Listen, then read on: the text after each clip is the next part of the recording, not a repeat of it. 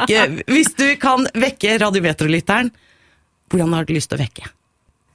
Oh, my love, my darling. Jeg er våken.